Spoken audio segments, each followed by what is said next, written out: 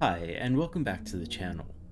In this video, I thought I would go over one of my favorite games, Getting Over It with Bennett Foddy. This is intended to be a playthrough of the game. I've already completed it several times before, so you may see me brush past sections that might take an initial player a considerable amount of time to go through.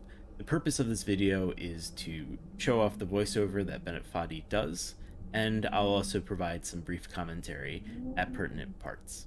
Enjoy. Let's go ahead and hit new game.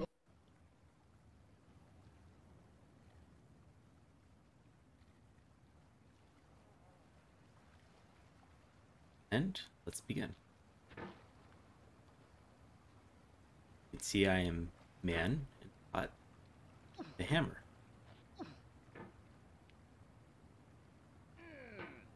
Go ahead and just increase the mouse sensitivity a bit.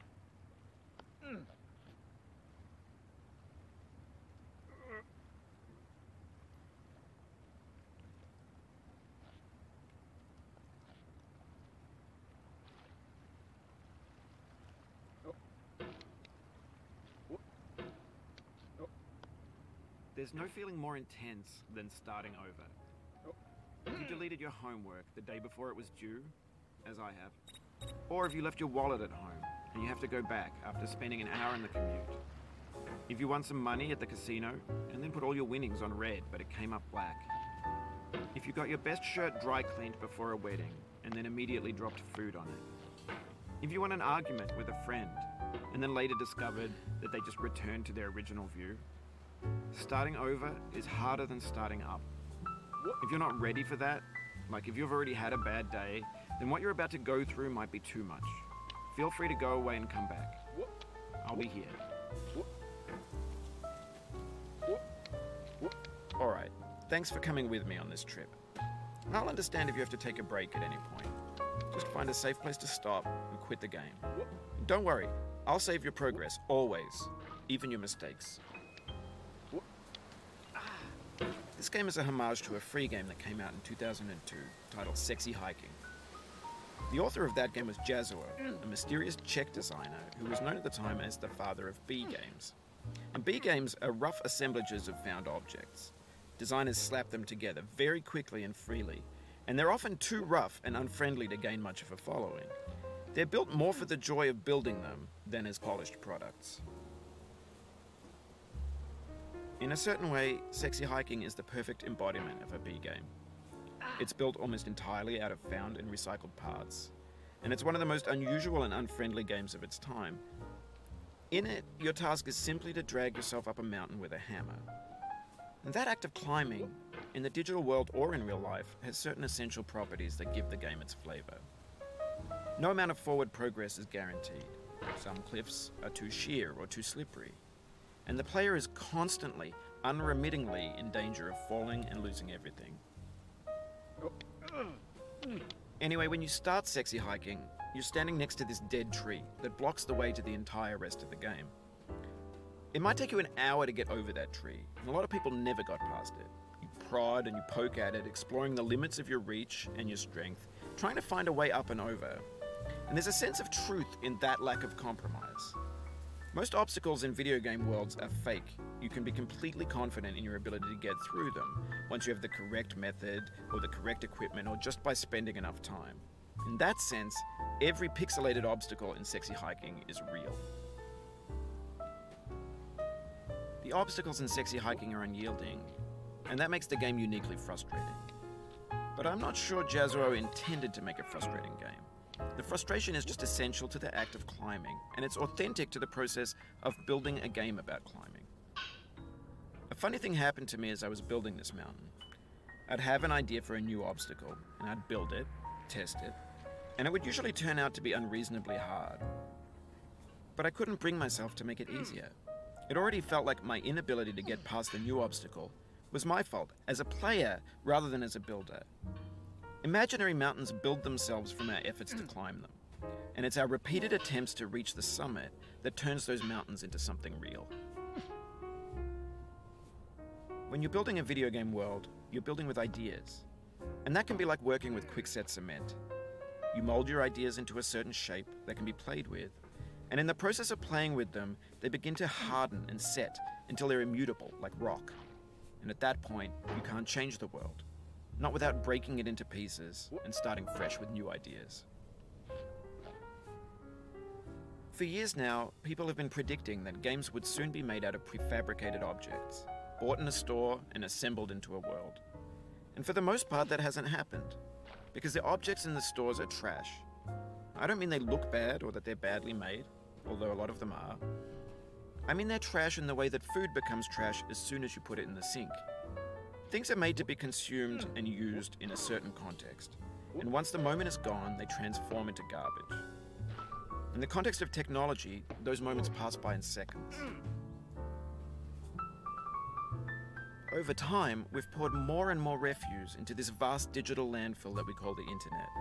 It now vastly outnumbers and outweighs the things that are fresh and untainted and unused. When everything around us is cultural trash, trash becomes the new medium, the lingua franca of the digital age. And you can build culture out of trash. But only trash culture. B games, B movies, B music, B philosophy. Maybe this is what digital culture is a monstrous mountain of trash, the ash heap of creativity's fountain. A landfill with everything we ever thought of in it grand, infinite, and unsorted. There's 3D models of breakfast, Gen X's fanfic novels, scan magazines, green screen Shia LaBeouf, banned stuff scenes on LiveLeak, Facebook's got lifelike bots with unbranded adverts and candid shots of Kanye and Taylor Swift mashups, car crash epic failed GIFs, Russian dashcam vids, discussions of McRibs, discarded, forgotten, unrecycled, muddled, rotten, untitled. Everything's fresh for about six seconds until some newer thing beckons and we hit refresh. And there's years of persevering disappearing into the pile, out of style, out of sight. In this context, it's tempting to make friendly content that's gentle, that lets you churn through it but not earn it. Why make something demanding if it just gets piled up in the landfill, filed in with the bland things? When games were new, they wanted a lot from you, daunting you, taunting you, resetting and delaying you. Players played stoically. Now everyone's turned off by that. They want to burn through it quickly, a quick fix for the fickle, some tricks for the clicks of the feckless. But that's not you, you're an acrobat. You could swallow a baseball bat. Now I know, most likely you're watching this on YouTube or Twitch, while some dude with 10 million views does it for you, like a baby bird being fed chewed up food. That's culture too. But on the off chance that you're playing this, what I'm saying is, trash is disposable, but maybe it doesn't have to be approachable. What's the feeling like? Are you stressed? I guess you don't hate it if you got this far. Feeling frustrated? It's underrated. An orange is sweet, juicy fruit locked inside a bitter peel. That's not how I feel about a challenge. I only want the bitterness. It's coffee. It's grapefruit. It's licorice.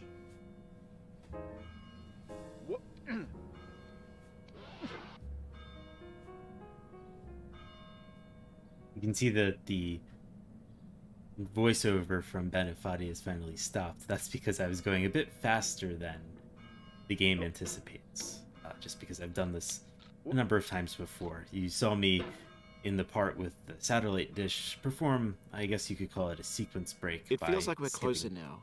Composer and climber, designer and user. You could have refused, but you didn't. There was something in you that was hidden, that chose to continue.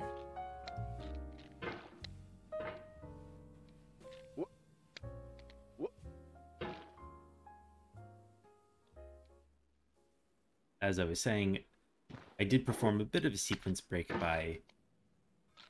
Going not up a fun little twisty slide, but hopping around the satellite.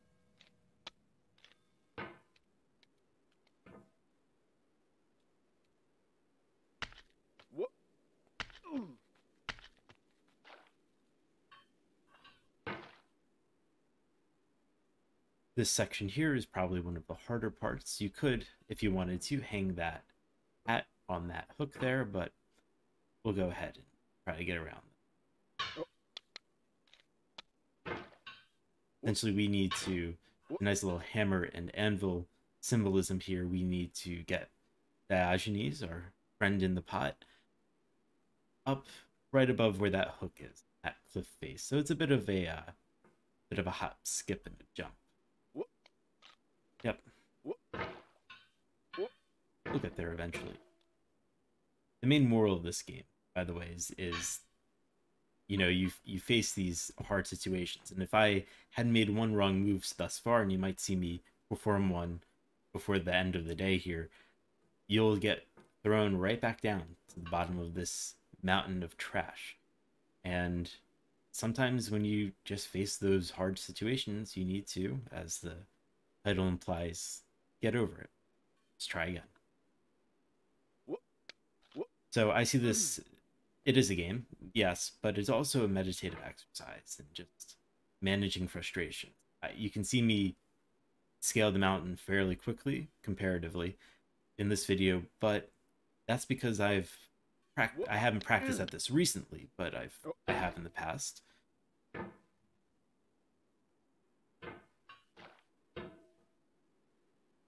The controls are fairly unwieldy. I'll even move the sensitivity up a little bit.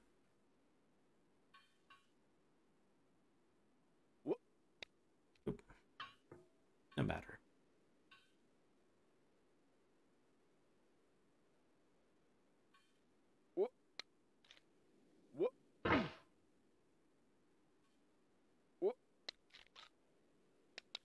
There we go. Now at this point, I'm going to fall off perhaps, or I might be able to.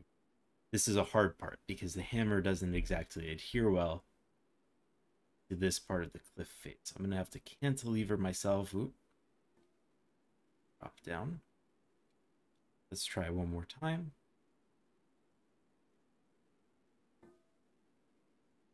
Part of the challenge here is just even psyching yourself up to make these hard jumps. Basically, I need to get right above me. I'm not going to point it out with the hammer since I'm otherwise preoccupied, and then get up to the upper left. Perfect. It means a lot to me that you've come this far, endured this much. Every wisecrack, every insensitivity, every setback you've forgiven me is a kingly gift that you've given me. It's ironic that we see that line because I actually haven't faced. I'm I'm gonna jinx myself by saying this, but we haven't faced a major setback thus far.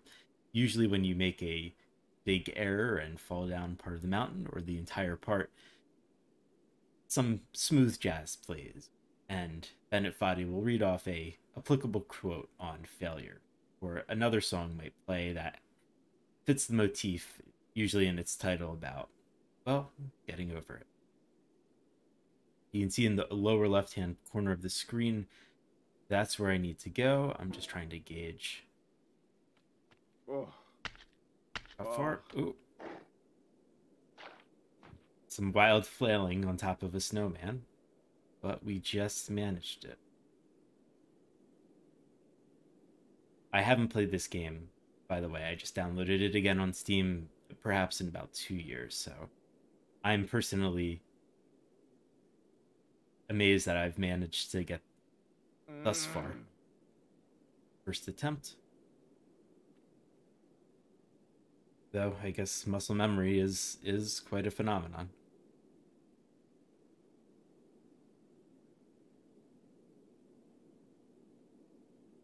All about angles here.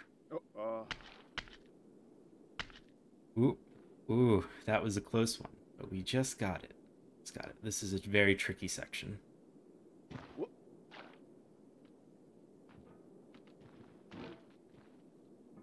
Almost, we almost had a little bit of an error there. I could just feel it through the skin of my teeth.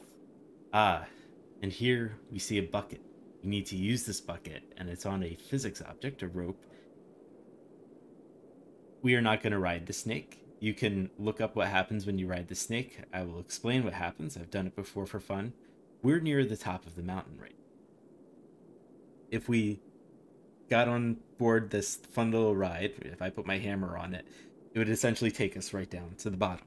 Think of the serpent in the book of Genesis in the Bible. Rather not be tempted today. We have the same taste, you and I.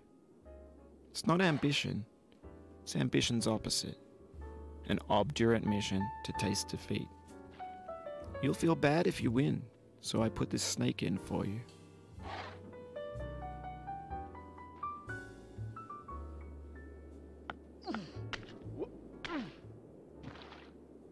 And if I fall down really either side, that's going to set me back a ways.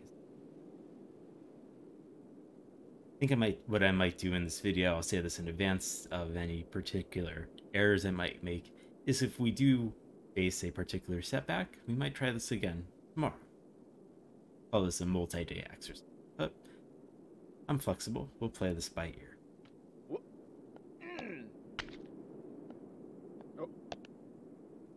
Ooh, filling, filling around there, but once you're higher up, a little easier to not worry about mistakes because it can't go off on horizontal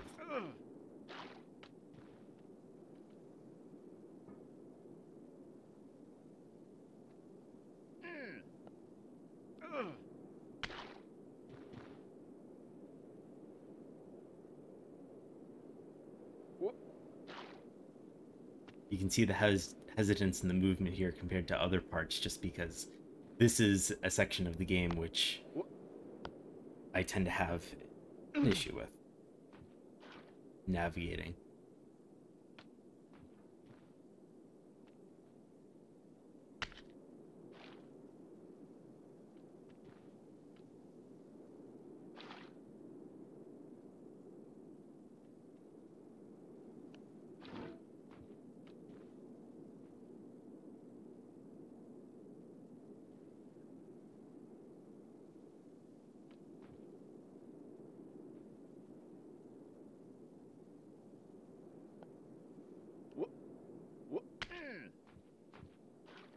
That was close.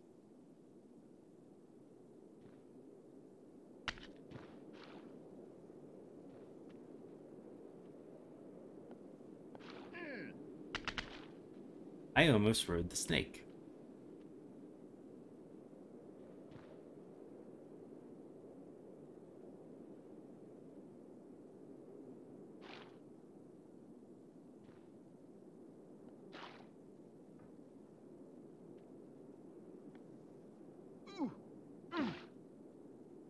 I'm gonna try it from the other side. Uses a bit of a trickiness with all the empty expanse there.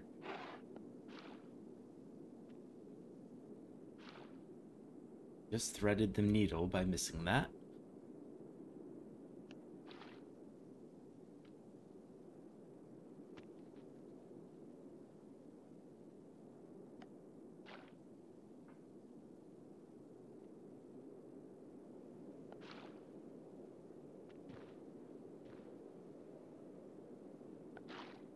Fairly certain there's some kind of Zen koan that you could get from having a bucket on a string and trying to hit it from a hammer while you're stuck in a cauldron, but not creative enough to come up with such a Zen koan.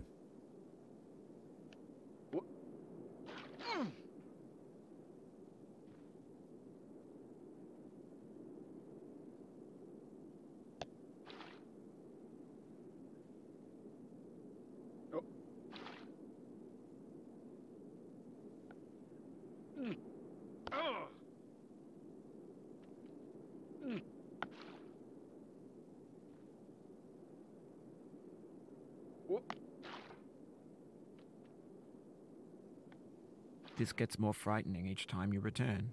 Knuckles whitening, stomach tightening. Once bitten, so many times burned.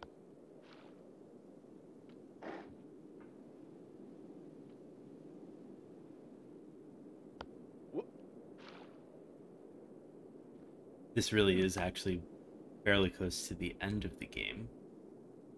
Just trying something else here, trying to balance myself and push. I think that might be what we'll need to do. Let's try. What? No. And here we go. Oh, you just lost a lot of progress. That's a deep frustration, a real punch in the gut.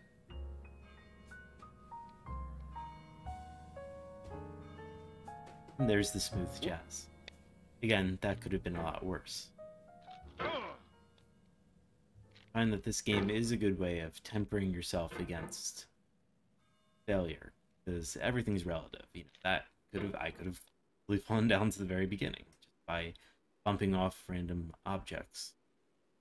Hmm. Hmm.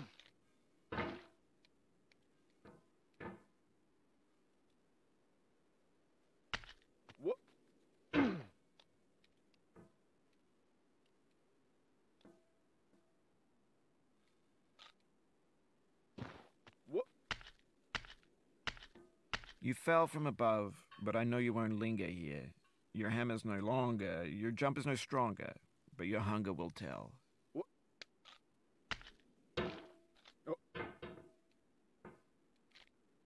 That's a good point that the vo- the voiceover just made is, and this is true for a lot of situations. Once you do something once, it becomes a fair amount easier. Earlier in this video, we had some trouble with that hammer and anvil oh. motif, but slightly easier this time around. No.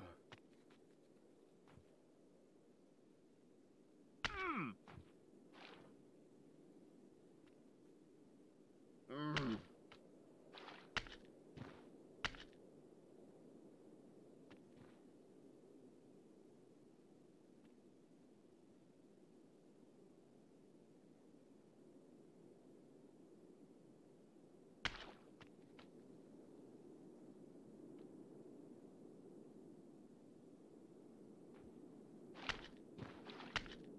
And lo and behold, we are back where we once were.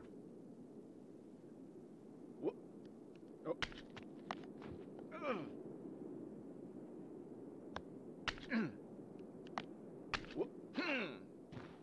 We almost got to the next part, but not quite yet. You can see that a common maneuver I'm trying to do here is, you saw it earlier, is projecting myself up by just getting some sort of ledge. Again, you could probably draw a good metaphor from that type of scenario. I am otherwise preoccupied. Have a bucket on a rope.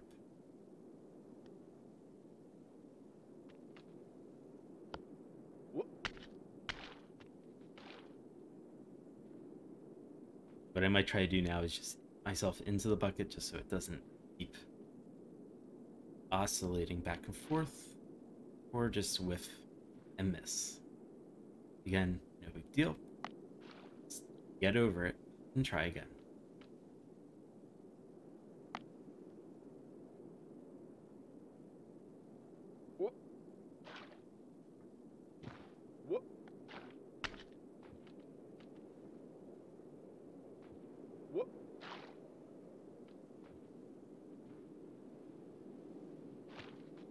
This is my first time recording a, I guess, game recording of this type, so I'm hoping that the recording is working. I haven't checked to OBS since I started, so if you can hear this, that means it's on YouTube and it worked, which hmm. I'm glad about.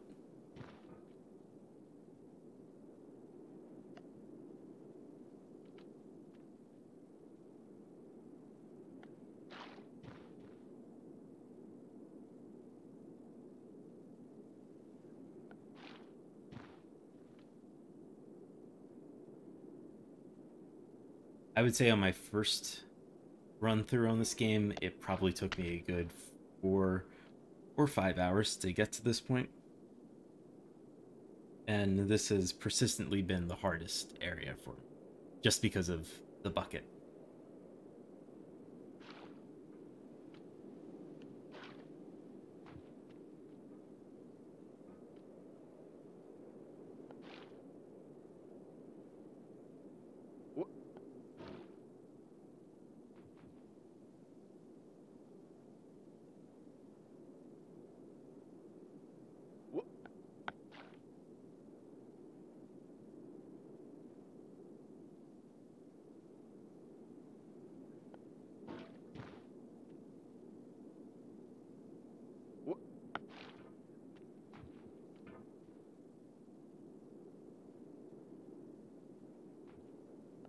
If I turned on the game's volume a bit louder, you'd hear some wind and noise. We are scaling a mountain.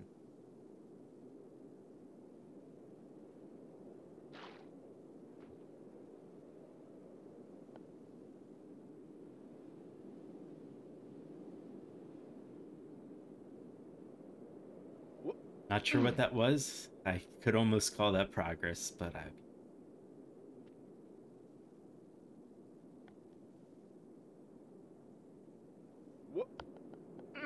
will call this progress, though. Let's see if we cross.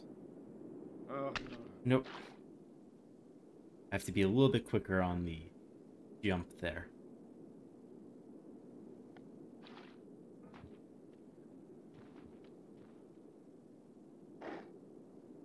Slowly recalling how I've scaled this particular obstacle in.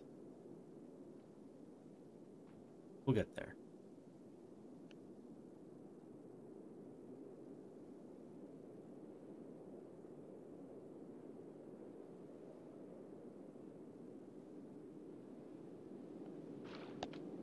There we go. It's a swing. That's that's the issue. You may be thinking,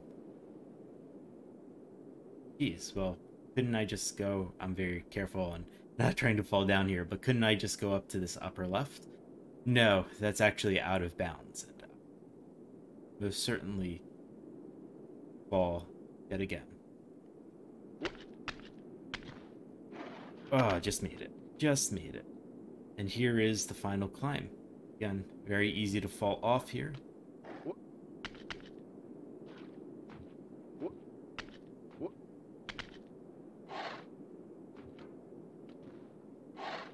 Orienting the mouse slightly. So, so your hammer essentially can just barely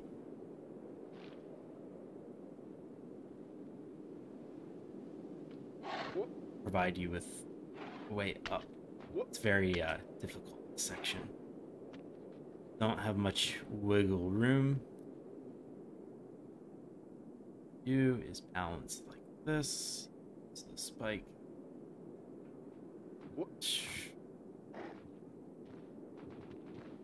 Bottom. To me, this is actually easier just because you're not relying on chance, more so just your skill.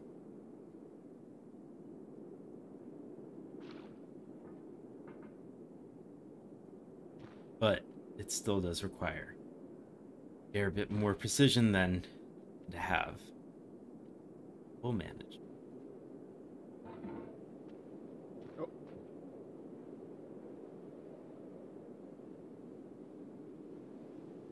Almost cliff side in the background.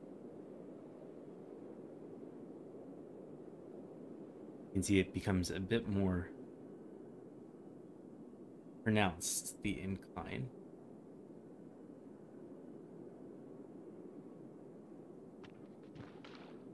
Oh, and I'm gonna fall. Not as much as you would think. Game is hard, can be unforgiving. It's gotta be patient, get over it. I say as I fall back to the bottom of the iceberg.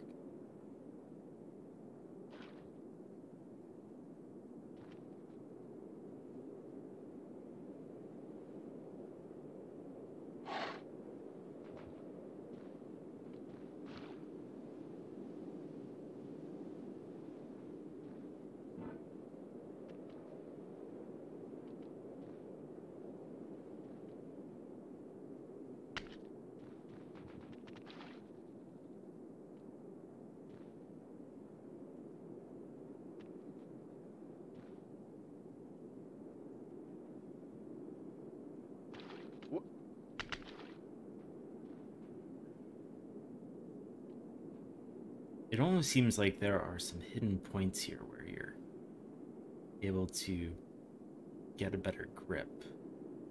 It's just conjecture on my part.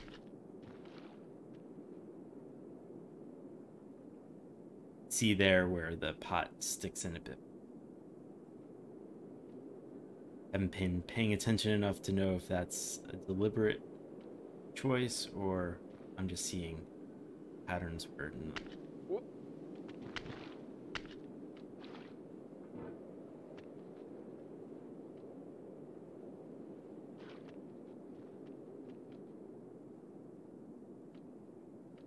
I suppose, though, at the end of the day, it doesn't matter.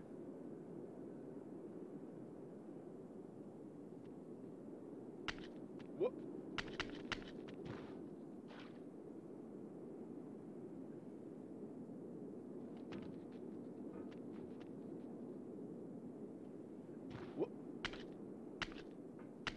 oh.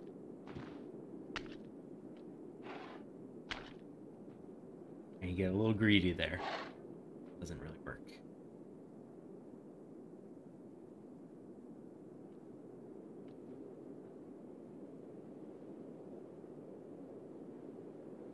So pure momentum.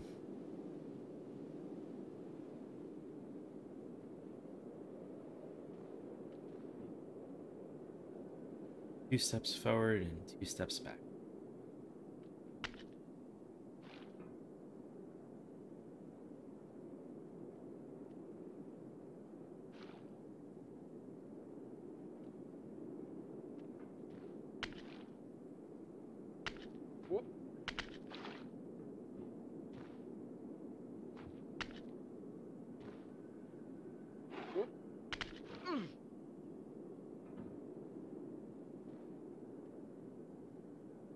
Wonder if I am right though. You saw where I was trying to feel with the hammer to get precisely into that next area. Stings. Well, oh, that almost went pear-shaped.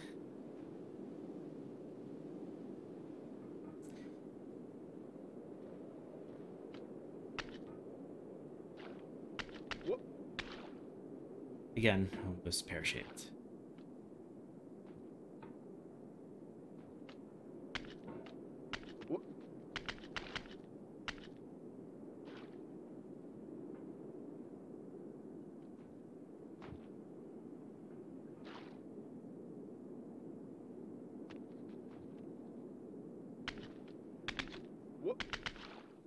And we almost rode the snake, but we hit the bottom once.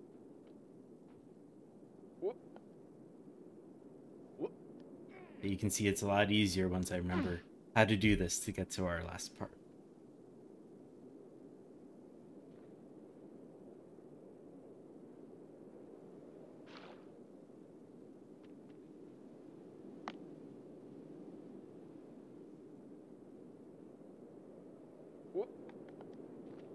There you go. That's the trick. Is just swinging precisely. Oh, ah.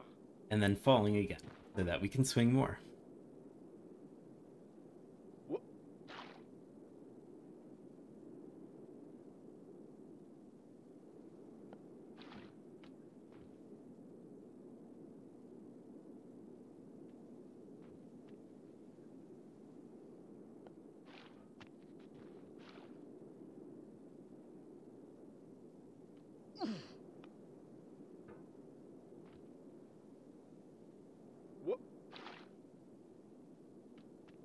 Mm.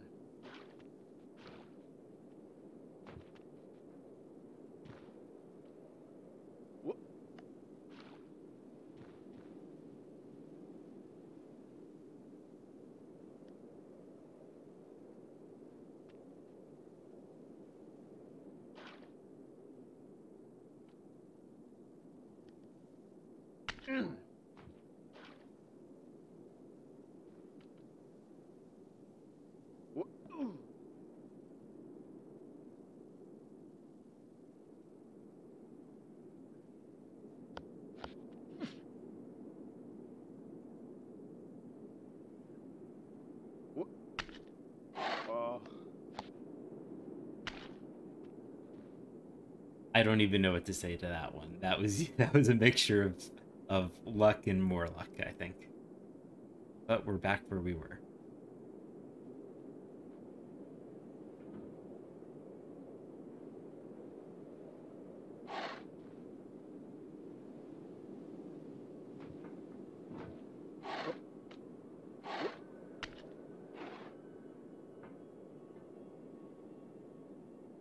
A little bit more careful here since this is farther than we've made it previously.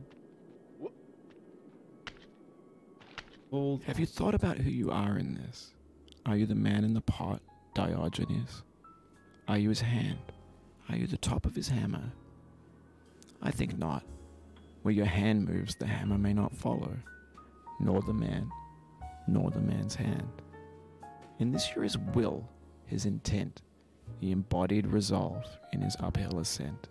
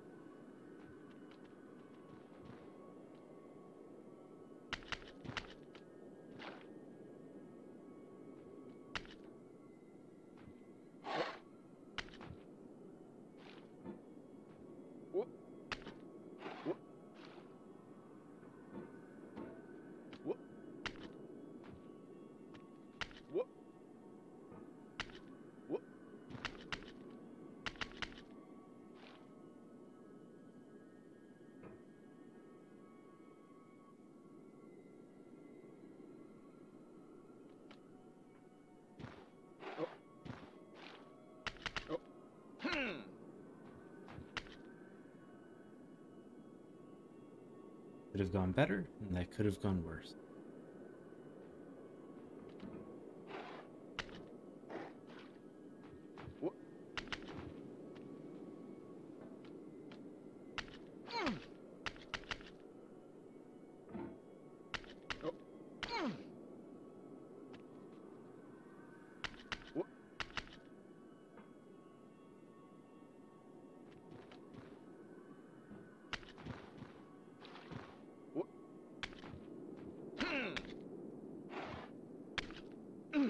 Back to the bucket.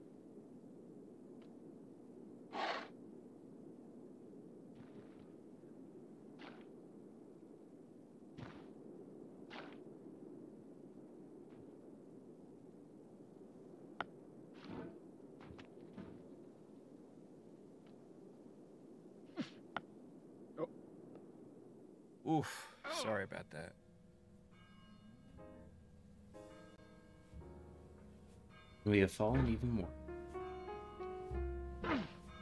That one was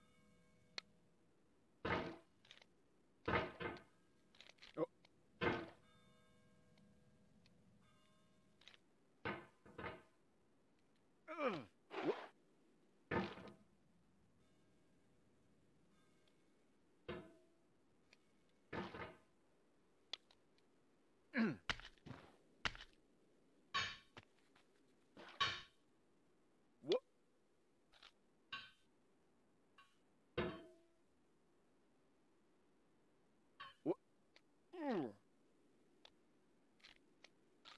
Oh.